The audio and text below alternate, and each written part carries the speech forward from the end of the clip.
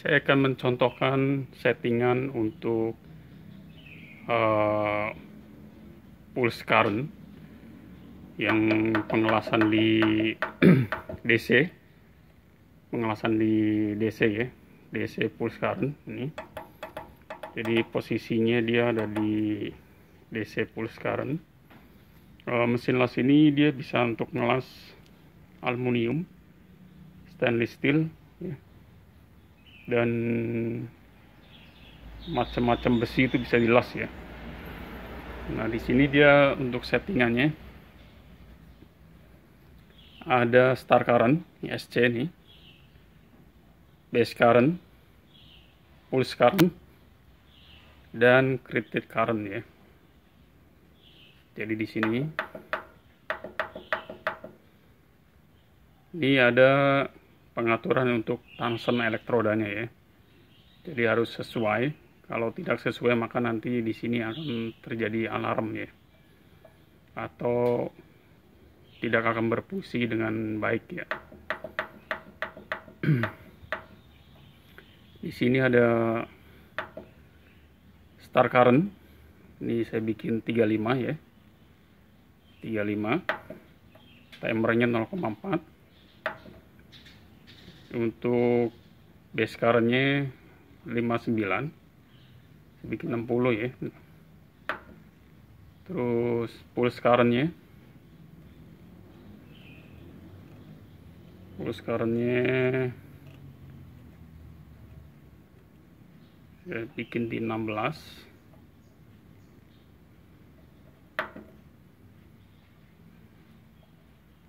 terus frekuensinya 5,5 57 persen.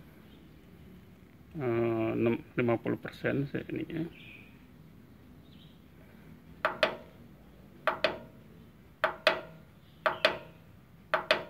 Oke kita langsung coba untuk kemas posisinya ada di 2T ya.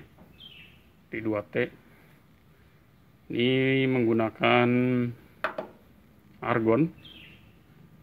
Karena mesin las ini dia mesin las argon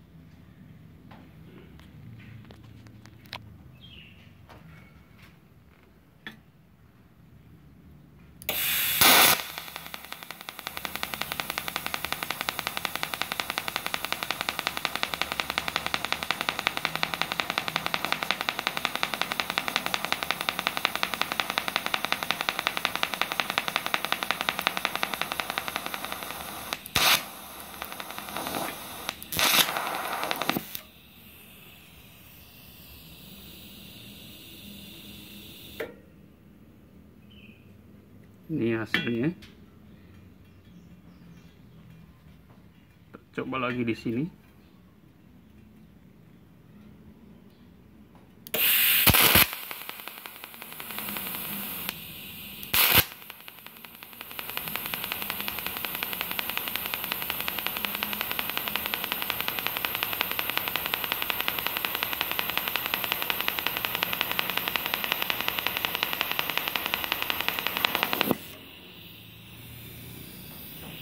ini hasilnya. Jadi dia ada guratan-guratannya ya. Tidak ada guratannya. Ini plat stainless ya. Plat stainless.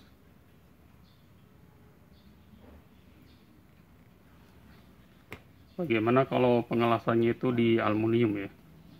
Untuk pengaturannya ini aluminium.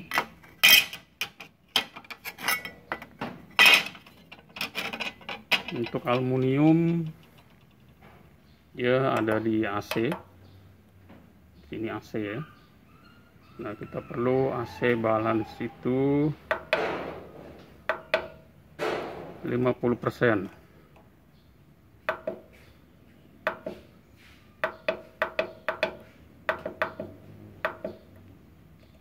coba kita ini kita kurangin ampernya. Untuk start currentnya kita kurangin juga ya. oke posisinya di 4T pengelasan di AC aluminium ya. Plat aluminium. Dengan tangsennya 2,4 ya 2,4 mili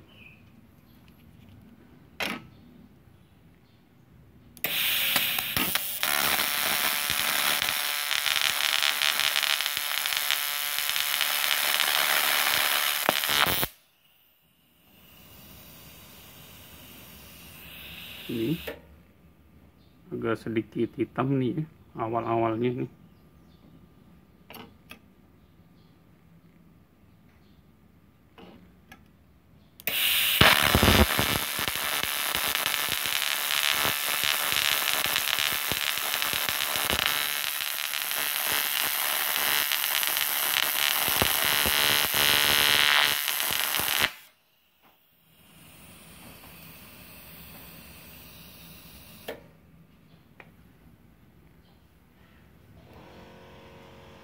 saya posisinya di 4T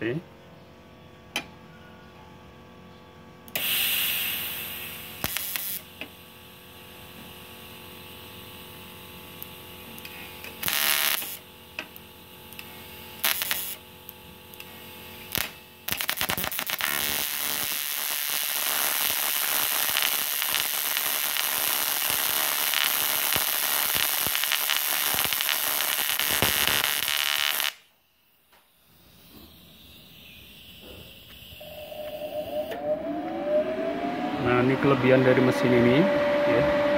ketika dia panas itu kipasnya dia langsung nyala ya. Jadi langsung on kipasnya untuk mendinginkan mesinnya. Ini berarti suhu mesin ini kurang lebih sekitar 40 sampai 60 derajat ya.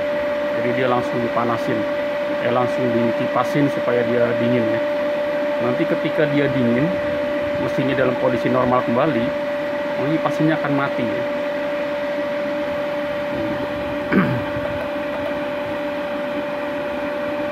inilah kelebihan dari mesin ini. Jadi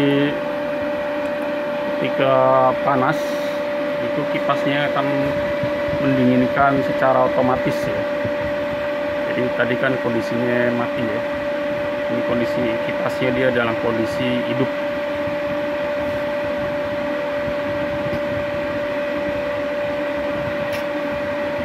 Jadi mesin las ini bisa dibilang itu sangat canggih sekali ya. Saya gedein sampai 60 ya. Nah, tadi kurang cair ya. Ini pengelasan masih di AC ya. Masih di aluminium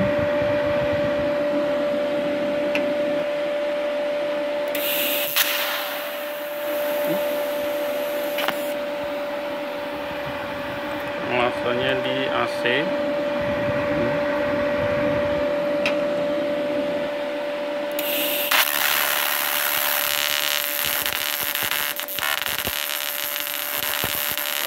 pengelasannya di aluminium memang dia agak suaranya agak kenceng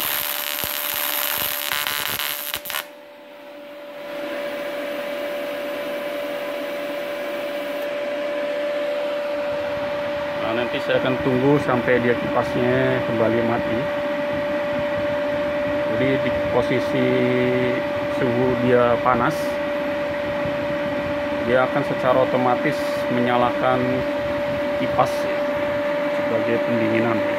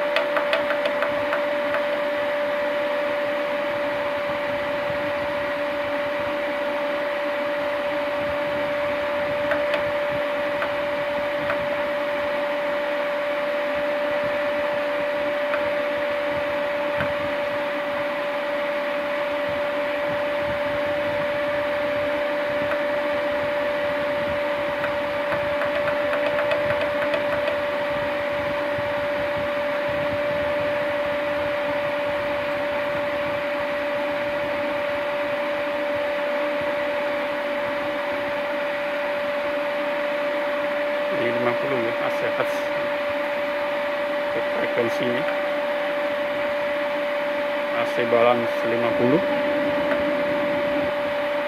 ini timer ya waktu. Untuk pindah ke ini. CC itu dia creator current. Ini creator currentnya sedikit 35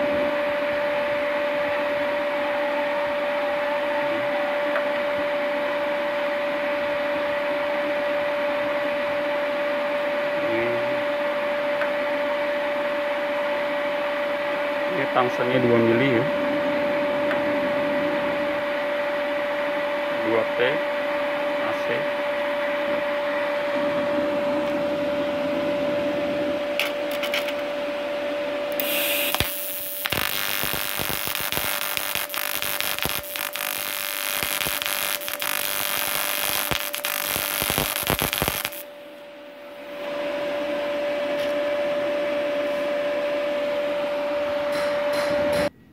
ini di kondisi dingin jadi kipas dia langsung berhenti. Nanti kalau dia panas kembali nanti akan menyala secara otomatis ya.